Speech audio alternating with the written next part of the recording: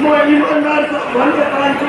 हाम्रो नेतृत्वमा गइसकेपछि कसैलाई पनि भ्रष्टाचार गर्न दिने छैन र हामी पनि